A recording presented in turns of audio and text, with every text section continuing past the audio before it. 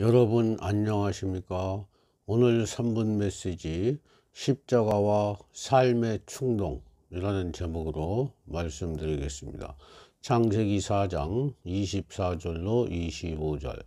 요셉이 그들을 떠나가서 울고 다시 돌아와서 그들과 말하다가 그들 중에서 시몬을 끌어내어 그들의 눈 앞에서 결박하고 명하여 곡물을 그 그릇에 채우게 하고 각 사람의 돈은 그의 자루에 들어 넣게 하고 또 길 양식을 그들에게 주게 하니 그대로 행하였더라. 아멘. 아, 지금 요셉이 그 애굽의 총리가 되어 있는데 그 요셉의 형제들은 그 곡식을 얻으려고 그 요셉 앞에 서 있습니다. 아, 이때 그 요셉에게 그 생각난 것이 있는데 아, 그것은 그 17살 때 꾼 꿈이 생각났습니다. 아, 형들의 볕단이 요셉의 볕단에 그 절을 하는 꿈이었습니다. 즉 형제들이 그 요셉을 섬기게 된다는 그 꿈이었습니다.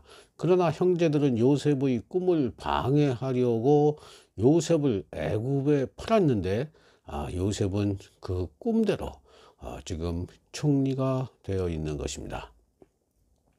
그런데 그 꿈이 실현되는 원인이 무엇이냐? 아, 그 요셉의 삶의 충동이 무엇이었느냐 하는 것입니다.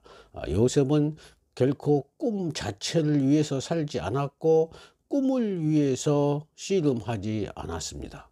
다만 하나님께 자기의 마음을 드리고 하늘 음성을 듣고 모든 마음과 뜻과 힘을 다해서 그 하나님 뜻에 하나님 마음에 집중했을 뿐입니다. 요셉의 자아는 하나님께 집중하는 과정을 통해 창조된다라고 하는 것을 보여주고 있는 것입니다.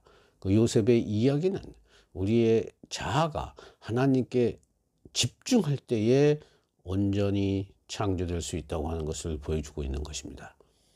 십자가는 하나님의 기쁨으로서의 참 인간이 창조되는 자리입니다. 믿는 자의 삶의 충동이 머무르고 몰입되어야 할 유일한 위치라고 말할 수 있습니다. 그러므로 오늘부터라도 온전케 하시는 십자가에 달리신 주 예수님만을 바라보고 영원한 생명, 마음의 안식을 풍성히 누리는 저와 여러분이 되시기를 간절히 기도합니다.